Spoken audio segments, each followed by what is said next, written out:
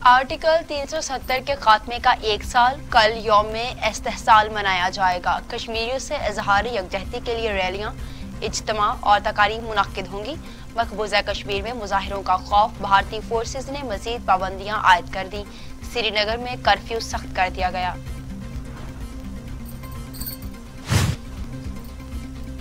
मकबूजा कश्मीर दहाइयों से भारतीय काबिज फोर्सेज की जल्मो जबर का मरकज कश्मीरियों का जज्बा कम होने की बजाय बढ़ता ही चला गया तालीमी इदारे मुसलसल बंद, गजाई अजनास की किल्लत सूरत हाल से दुनिया ना वाकिफ है।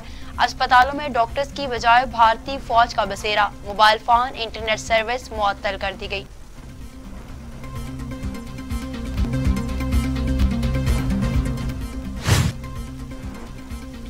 शाह महमूद कुरैशी कहते हैं, कश्मीरियों की आवाज़ दुनिया के हर फॉरम पर उठाएँगे। एलओसी पर भारतीय फोर्सेज नहत्ते कश्मीरियों को निशाना बना रही है।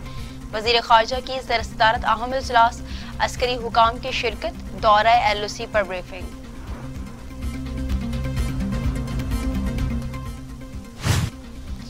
कश्मीरियों की आवाज़ अमेरिका में भी गूंजने लगी। न्यूयॉर्क के टाइम्स स्क्वायर पर भारतीय मुजालिम के खिलाफ बिलबोर्ड आवेजा कर दिए गए। कश्मीरियों से इजहार यकजहती।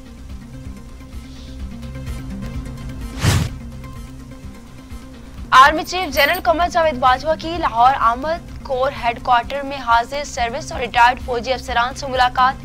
मुल्क की सिक्योरिटी सूरत हाल पर तबादला ख्याल शुरा की आर्मी चीफ को मुख्तलि पहलुओं पर तजावीज़।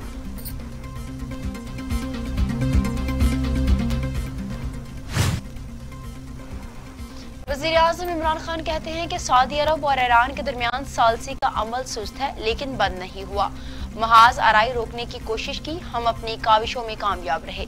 दो ममालिक के अस्करी टकराव के इम्कान से मशरकी वस्ती के लिए बदतरीन हालात पैदा हुए।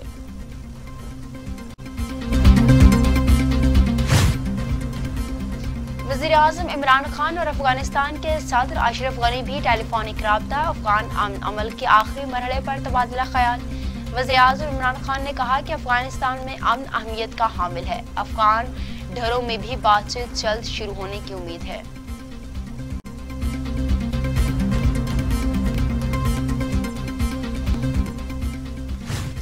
विफाकी काबीना का इजलास आज होगा। सदारत वजी अजम इमरान खान करेंगे। Deputy governor state bank Pakistan की मंजूरी दी जाएगी।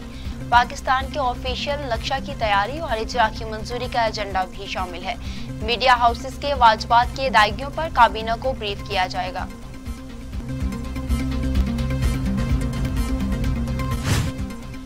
पाकिस्तान में कोरोना से मजीद पंद्रह अमवात, तादाद पाँच हज़ार नौ सौ निन्यानवे हो गई। चार सौ बत्तीस अफराद में वायरस की तशखीस हुई, दो लाख अस्सी हज़ार चार सौ साठ मरीज़ हो गए। सिंध में दो हज़ार दो सौ छब्बीस, पंजाब में दो हज़ार एक सौ तिरपन, खैबर पख्तूखा में एक हज़ार दो सौ आठ, बलूचिस्तान में एक सौ छत्तीस, गिलगित बल्दिस्तान में पचपन, आज़ाद कश्मीर में चौवन और इस्लामाबाद में एक सौ सतासठ मरीज़ इंतकाल कर गए।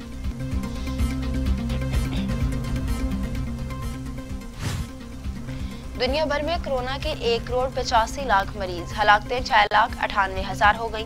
अमेरिका में एक लाख अठावन हज़ार नौ सौ उनतीस, ब्राज़ील में चौरानवे हज़ार सात सौ दो, रूस में चौदह हज़ार दो सौ सात, भारत में अड़तीस हज़ार नौ सौ इकहत्तर, तुर्की में पाँच हज़ार सात सौ सैंतालीस, ईरान में सत्रह हज़ार चार सौ पाँच, अफ़गानिस्तान में एक हज़ार दो सौ अट्ठासी और सऊदी अरब में दो हज़ार नौ सौ पचास अमवात हुई हैं।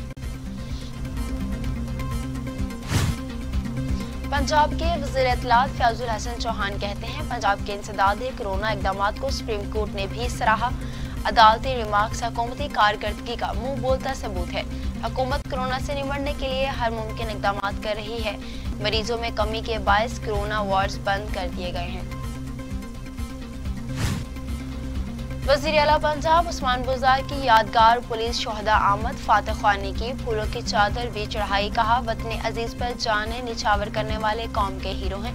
शहदा ने अपने लहू से तारीख रकम की है। हमेशा हमारे दिलों में ज़िंदा रहेंगे। शहीद पुलिस अहलकारों के खानदानों को तनहा नहीं छोड़ेंगे।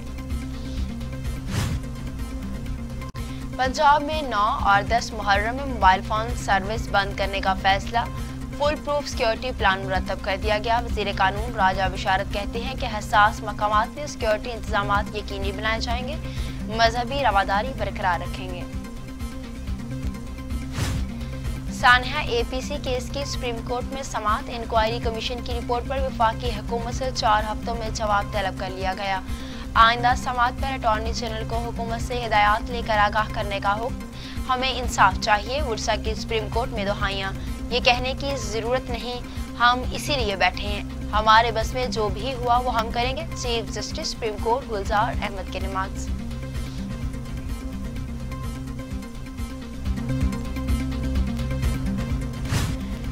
ठट्ठा वाटर सप्लाई गैर कानूनी ठेकों के रेफरेंस में आसिफ जरदारी पर फर्द जुर्म आयद न हो सके। वकील फारूक नायक की अदम दस्तियाबी पर कार्रवाई सात अगस्त तक के लिए मौखर। आसिफ जरदारी के रेफरेंस खारिज करने की दरख्वास्त पर नैब से जवाब तलब कर लिया गया। तालिबान रहनमा मुल्ला ब्रदर्स और अमरीकी वज़ीर खारजा माइक पोम्पियो में वीडियो कॉन्फ्रेंस अफगान और कैदियों की रिहाई पर तबादला ख्याल। फ्रिकैन ने अमारात इस्लामिया के कैदियों की रिहाई का मुजाकर के आगाज़ के लिए अहम समझा, तालिबान तर्जुमान सुहेल शाहीन का ट्वीट। और पाकिस्तानी क्रिकेट टीम का इंग्लैंड में पहला इम्तिहान कल और रेफर्ड मार्के के लिए टीम का ऐलान आज होगा। चीफ सेलेक्टर मुस्बाउल हक कौमी टीम का ऐलान करेंगे।